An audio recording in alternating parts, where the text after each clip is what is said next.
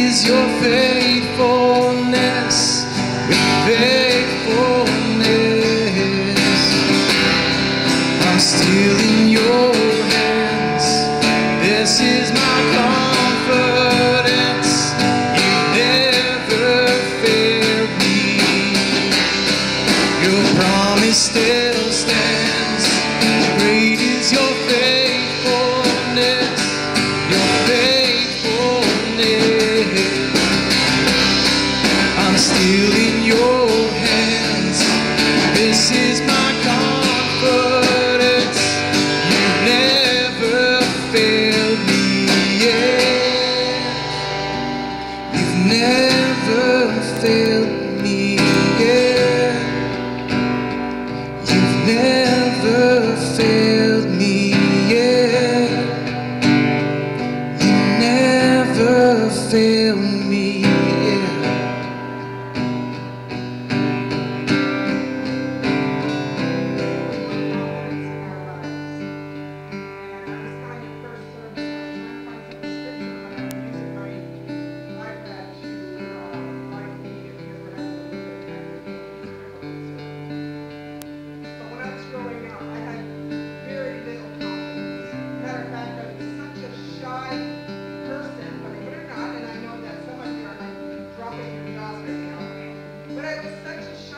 person that if I was walking down the street and I seen a group of people and I thought I had to walk through that group of people, I would cross the street and go on the other side.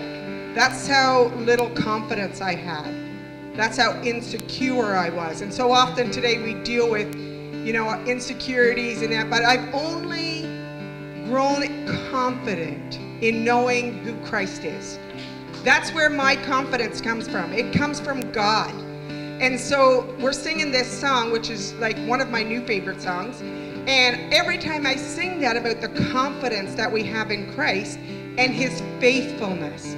So whatever you're going through this morning, whether you're in this building and it's so wonderful to see people and to worship with people this morning, or whether you're still sitting at home, whatever you need from God today, maybe you're feeling insecure, maybe you're lonely, maybe you feel that you're just like been pushed down, stomped on, whatever that is, I want you to know today that you can receive confidence from God because of what? Not because of who we are, because we change.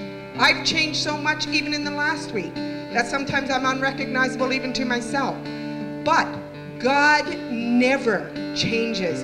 His mercies are new every morning, and the Bible says, Great is His faithfulness. And so this morning, I just want to encourage you to, whatever it is you're walking through today, whatever it is you have going on, find your confidence in Christ. And I just want to pray with you this morning before uh, we do whatever we're going to do next. And, and just pray that you receive that today. This morning, when we were worshiping and singing, we, we felt the victory in this room, and that victory can be yours today. Not because, not because of what we do. Thank God. Like, I could do nothing in my own strength, but it's because of what He's already done for us. And so, Father, I just want to thank you. And this morning, I encourage people that couldn't even step forward to the front. I encourage you to just make one little step in whatever direction, it doesn't matter. Because then God comes to, to the rest of the way. He will run to them. You will run to them, God. And so I just thank you, Father, that we can just leave everything with you. We can leave our shame with you. We can leave our hurts with you. We can leave our weaknesses with you. And we can rise up with our head held high, knowing that we are a child of the King of Kings. and the Lord of Lords. And so, Father, I pray for every person in this building and watching today that they would receive what you want to give them today. And that's the truth of knowing who you are and your faithfulness. And let's lean on that this morning. Amen. God bless you.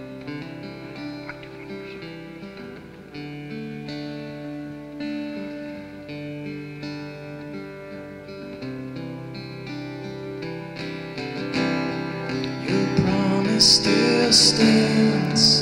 Great is your faithfulness, your faithfulness. I'm still in your hands. This is my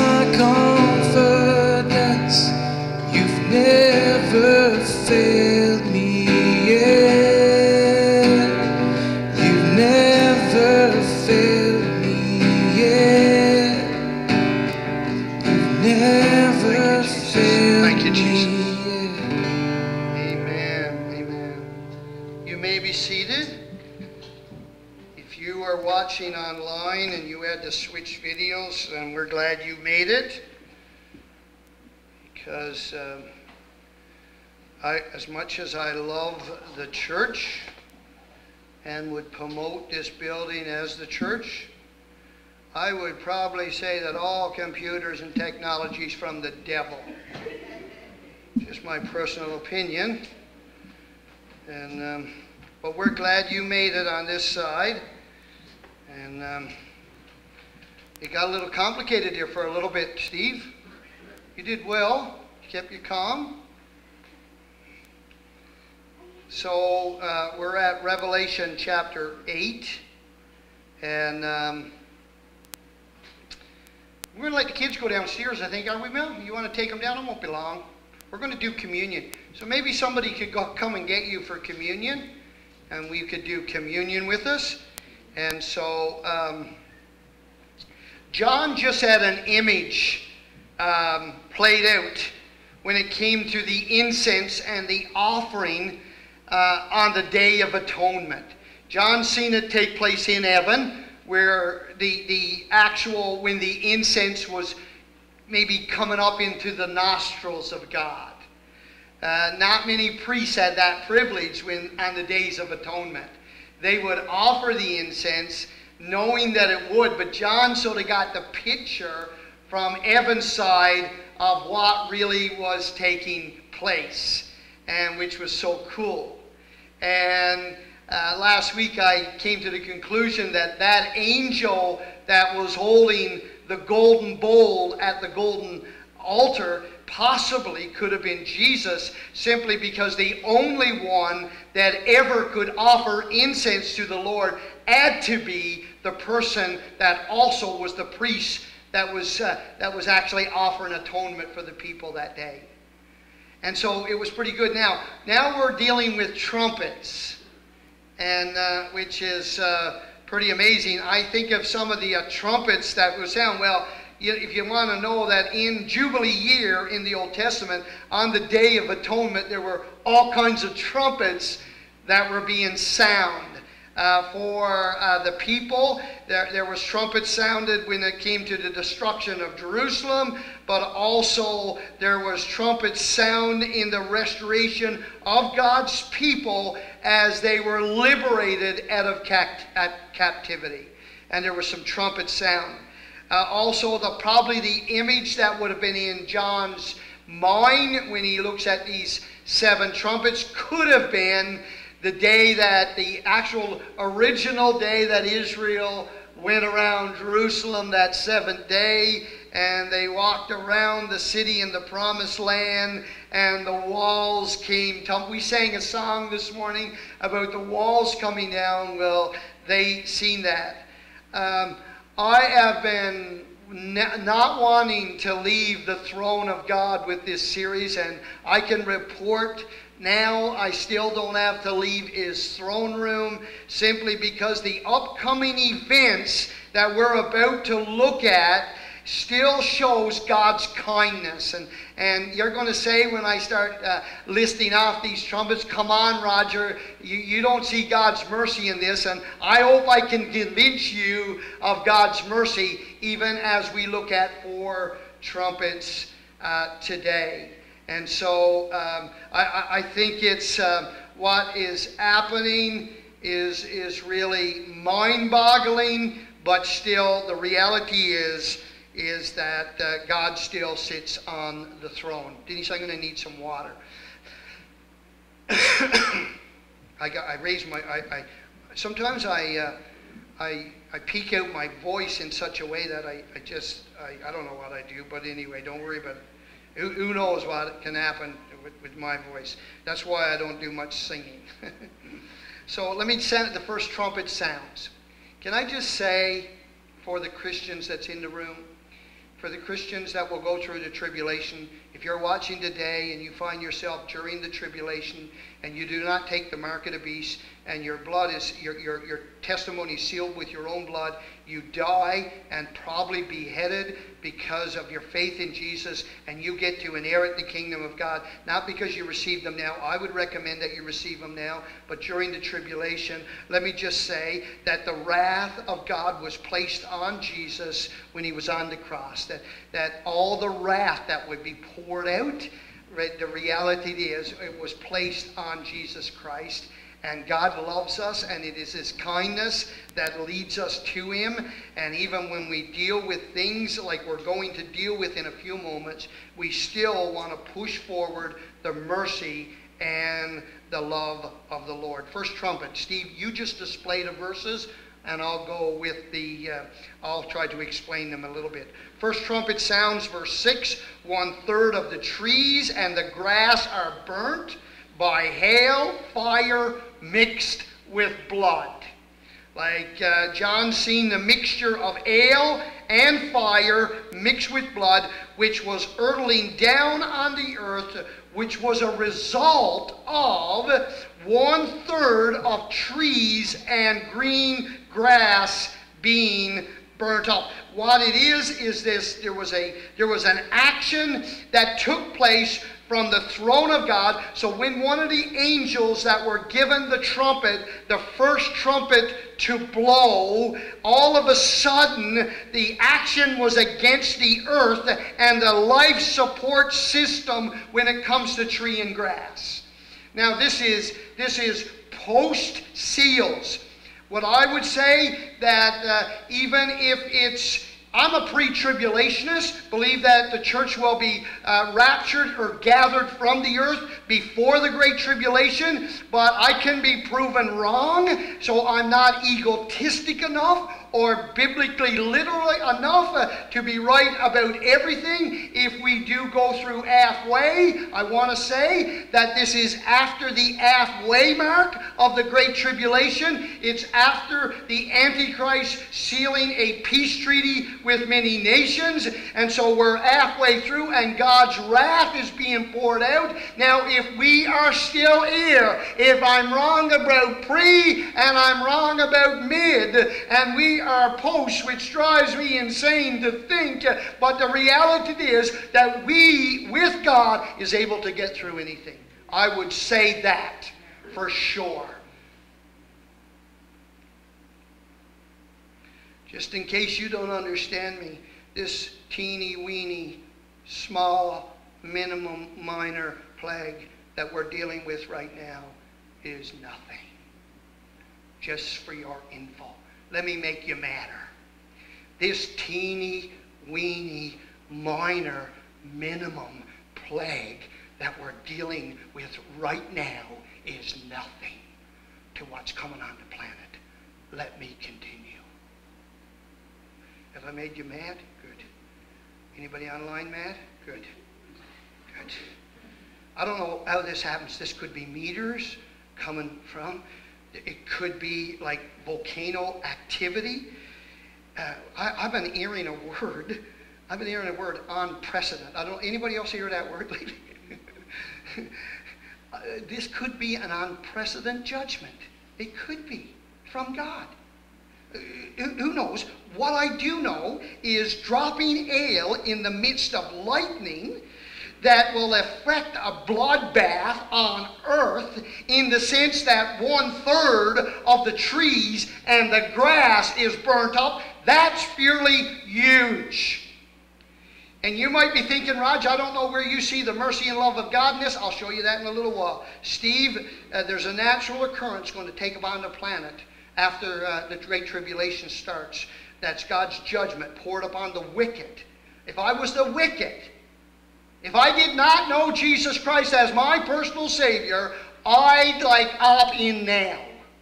Just saying, my opinion. Second trumpet, Steve, uh, verses uh, 8 and 9. What happens here is um, the marine life. One third of the marine life and ships are destroyed by burning objects that are falling into the water. And, and it's crazy. One third of the sea turns to blood with this when this trumpet is the second trumpet. A third of the creatures in the sea die. You say, Raj, I don't see the mercy of God. I'll get to that, right? A third of the world's like transportation in the sense of ships and that are destroyed. Once again, I don't know what does this, if this is monster uh, uh, volcano that erupts under the sea or, or, or what it looks like or an unprecedented thing that happens, but the image is real. Those that are rebelling against God is affected by God's judgment, and yet they're not completely destroyed. Need to see that.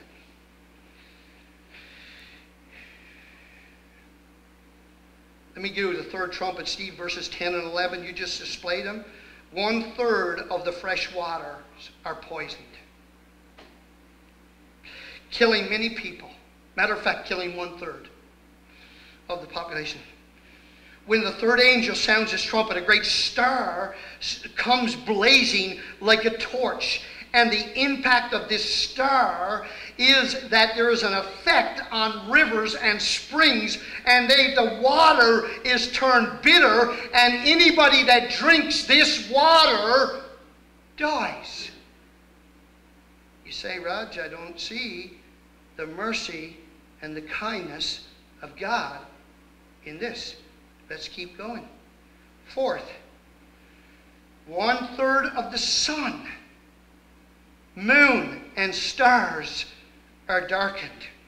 The fourth angel now sounds his trumpet, and the sun is struck in the sense of dimming it to a one third right? And which is, is, so crazy. And a third of the stars go dark, and a third of the moon also turns dark. And I think the result of this, in a common sense, is that the entire light system that's on the planet is darkened,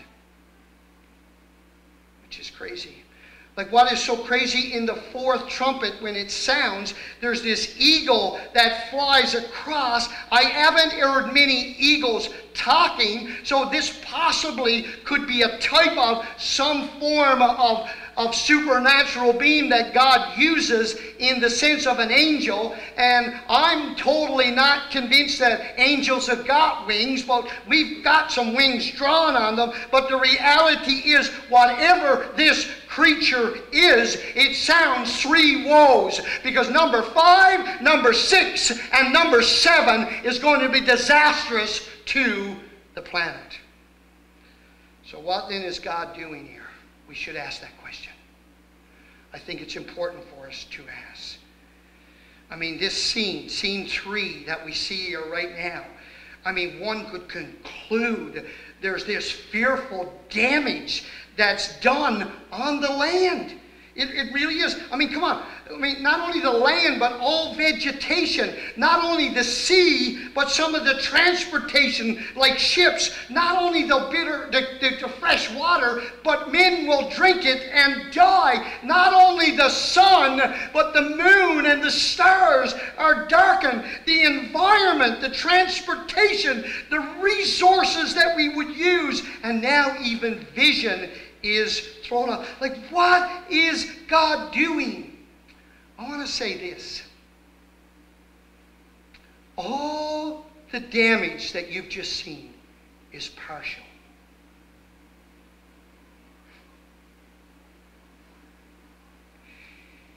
It's not like total.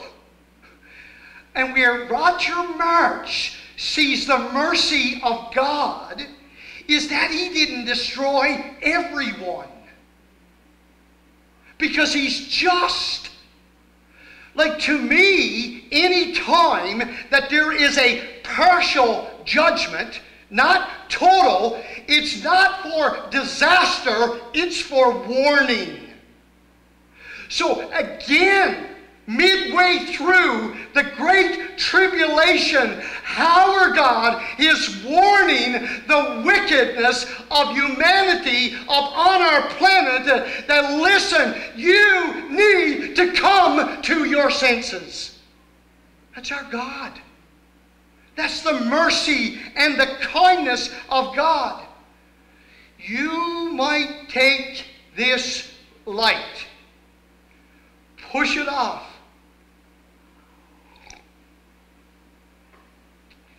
Like, even if you want, you can not only publicly say that I'm crazy, you can tell me to my face. But I believe, Bob, that God cares for humanity so much that he will send these plagues let me go back again, and hopefully, Bob, you're not the one, anybody that I make mad, or maybe I don't want to make anybody mad. But this teeny weeny small plague that we're dealing with now is just but just some one little minor thing. And I just want to say to all the Christians in the room, and all the Christians that will join online, and anybody that's crazy enough to watch me on video, plagues are coming. Oh, I, nobody said amen. Okay, good. No, because I, I don't think we get it. I don't think we understand. I don't think we understand sin. I don't think we understand sin against God. I don't think we understand that Jesus came, that God gave His Son, that whosoever may come and accept Him as their Savior. I don't think we get it from God's side. We just like the planet. But let me tell you that if you're a tree hugger, God's going to burn one third of them. If you like how much look, look, your grass looks after you mow it, God's going to burn some of it up. Because God wants to get humanity's attention. And let me say this to you this morning, too. God is all in to keeping the planet green. God told us to subdue it. God told us to look after it. God told us that we would have dominion over everything that was created. We're the ones that messed it up. Better word, right, Denise? Messed it up. Better word. Better word. But guys, two thirds are still standing. Steve, I don't know because you got you had the chance to be with me in the first service. I don't know if you threw up the verse that I quoted out of uh, out of uh, Revelations nine and verse twenty like what happens, guys, is they reject this too. So you know. They reject this. So even the, the two thirds that's left still rejects God. Secularization and sin is so rapid in our world that it will continually get worse. It might be okay for me to say that nobody's going to rise to power that's going to fix this. Only God can do anything with the depravity of man to try to cleanse them and clean them. Like it's, it's, it's difficult to even police. And what is so crazy is there will be an attempt to police it, but in the future we will move into lawlessness. And you might be seeing that if you're watching the news. Somebody asked me the other day what I thought of conspiracy theories. And I said, uh, there's two things that I don't give no heed to right now. Number one is conspiracy theories. Number two is news broadcast. Sorry, I said that live too. They're so opinionated. Denise gave me a look. They're so opinionated. It is so crazy, guys. Guys, if there was ever a day, uh, I, have been thinking, I said to Denise uh, just a day ago, I, I, I, still treat myself as a young man. And, and uh, I said to Denise, I, I, even when I'm preaching, I sometimes want to say, if you could listen to this young preacher. And I, like, I, I don't think I'm young anymore. Like it's just just things happening in my body. like it's just I, am not. Uh, there's no young. In, there's nothing young in me. I got a young looking wife. That's it. but guys, so if you could believe this medium old preacher, older. older Bible tells this real story. When I say to you that one third of the grass and the trees are destroyed, when I say to you one third of the sea will turn to blood and one third of the ships will be destroyed. When I say to you that one third of the fresh water will be bitter and, and, and one third of humanity will die. Be, the coronavirus, I don't, I, I wish it wouldn't have took anybody, honestly. But I, I want you to know there was one time in Scripture that I think there were 70,000 people were killed just because they were counting. Like we took attendance this morning, but don't dare count. no, no. But you gotta like uh, we're, we're not dealing we're not dealing with a God that's dead. Like, like this is not like Buddha. Right? Like this is the God that's just, pure, holy, unapproachable without the covering of the blood of Jesus. This is a God that's totally connected with the planet, humanity. Like, like guys, as you can see, everything we created, we're having a bit of trouble with it. But God's creation, even if it dies, it will come back to life in its due season. Like our God is in control.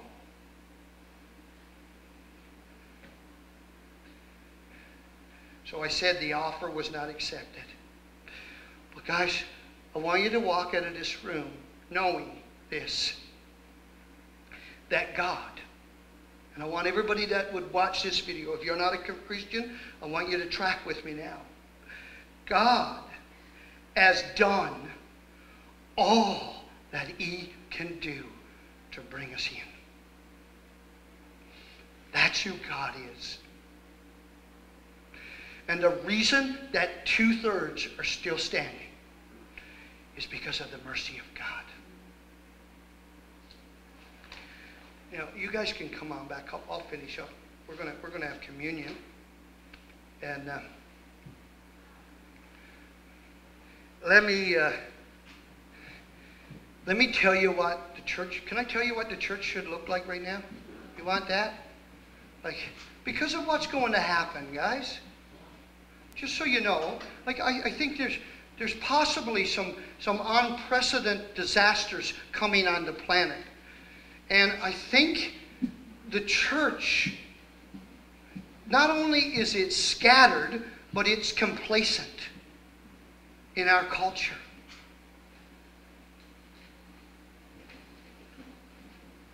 Steve, I'm going to sing a song. Can you, you mind if I sing one?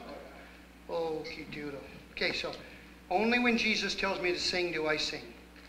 I'm going to move my table so I can clear my voice. Sing. You might want to sing with me. This little light of mine, I'm to let it shine. This little light of mine, I'm gonna let it shine. This little light of mine, I'm gonna let it shine. Let it shine, let it shine, let it shine. Don't let Satan blow it out. I'm gonna let it shine. Don't let Satan blow it out. I'm gonna let it shine.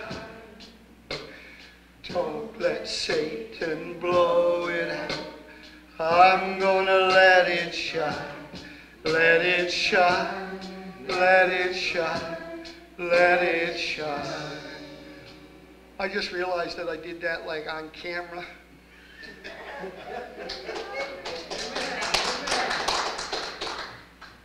So guys, what, what are you saying, Raj? Because I know, guys, I've, when I say teeny weeny plague, I mean teeny weeny plague. Because I know what's coming. And that we, we cannot, church, let this crush us.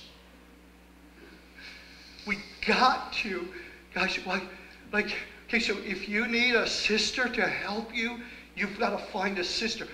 Listen, if I was to give you a proper view of the church right now, you, you, you should like push your shoulders back. You should just raise up your chin. And you should be seen getting through with confidence because Jesus will bring us through anything. Let's not reflect our Savior as not capable of maintaining and helping us get through anything just because we're living in defeat. You say, Roger, you don't understand. I do understand that we lean way too much on our flesh and not enough on the Spirit. And I'm not here to criticize, put down, or tear apart. This is what I know. This is what I know. If I could find the mercy and the kindness of God, Jock, halfway through the Great Tribulation, that God did not destroy everyone, but still gave it as a warning then I should be able to tell the church that, that God constantly went after Israel to remarry them and to bring them back into the fold. And because he put his wrath on Jesus and our sin Jesus paid for, then God is going to do everything that He can to bring you to the finish line. You are not alone. Amen. You're not. We serve a God that's with us and for us and going to help us to the end. If you are down, defeated, discouraged, or depressed, our God have faced all of them things before and have helped many men and women of God get through them. Take hope. The book of Revelation is not about wrath. It's about hope. And that's the God we serve. So let's, Denise, can, okay. Yeah, um, we're going to do communion. So you're going to have to get your own communion because like we're live and we don't want to get in trouble. If you are live and you want some communion, just go get something. Just go, like you can break bread with us. We, let's stay online. This is one of the things that we're supposed to do in remembrance. So we're going to stay with you. And we couldn't get this stuff to you, but you just need a small piece of bread and you just need some grape juice Fruit of the vine. If you don't have it, like, just use something that you've got to, to track with us this morning. And um, Steve, why don't you start a song, and then that'll get me back into a different mode. Would you do that? You trying to get yours open? Yeah. Yeah. You might need Julie. Just, just, Steve, Steve yeah, you, Steve, if you can't get it open, just eat the entire thing.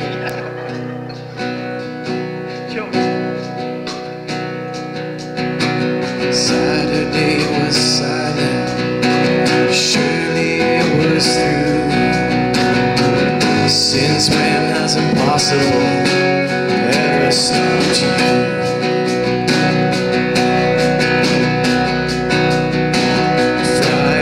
Friday's disappointment. Sunday's empty too. Since when has impossible ever stopped?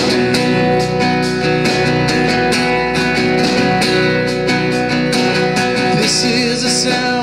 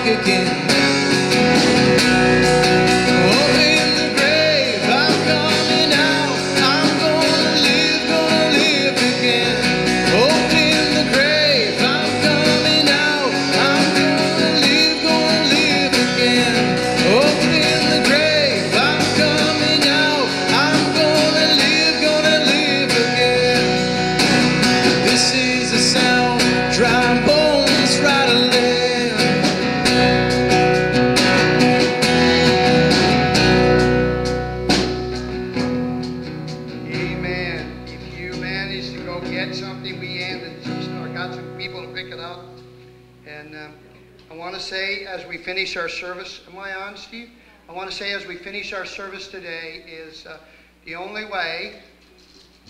The only way. Can I, can I can I can I say that? Maybe maybe I'm not clear enough. There's only one way. I got some great family members. I do. I do. But if they don't accept Jesus Christ as their Savior, they're lost. Whether they want to believe that or not. Ju- Just so you're fully aware, I cannot send anybody to heaven or I can't send anybody to hell. That's God's idea and God's plan, and God, God will look after that. But what I do know is that He gave His Son. And the night that Jesus was betrayed, He took bread. And it says He broke it. And he said, Take, eat. This is my body, which is broken for you. Let's take it together.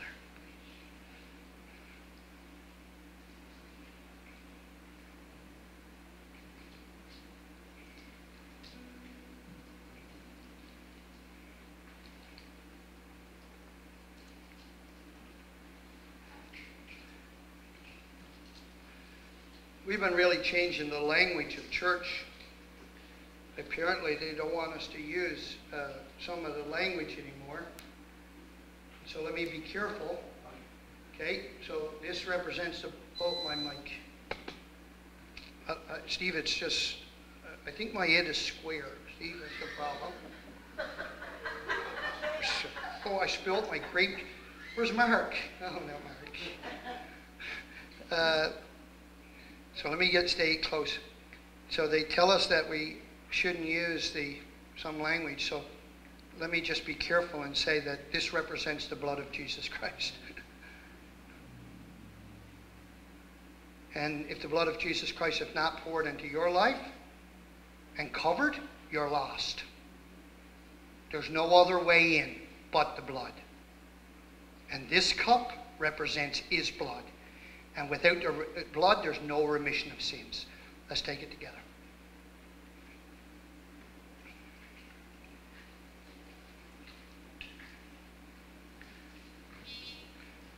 So we're going to finish this service, and um, and uh, we just want to thank everybody for coming and joining us online.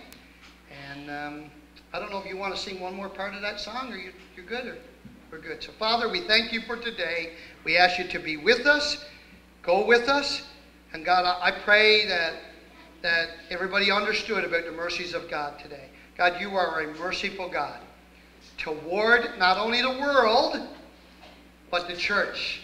Thank you for your mercy. In Christ's name, amen.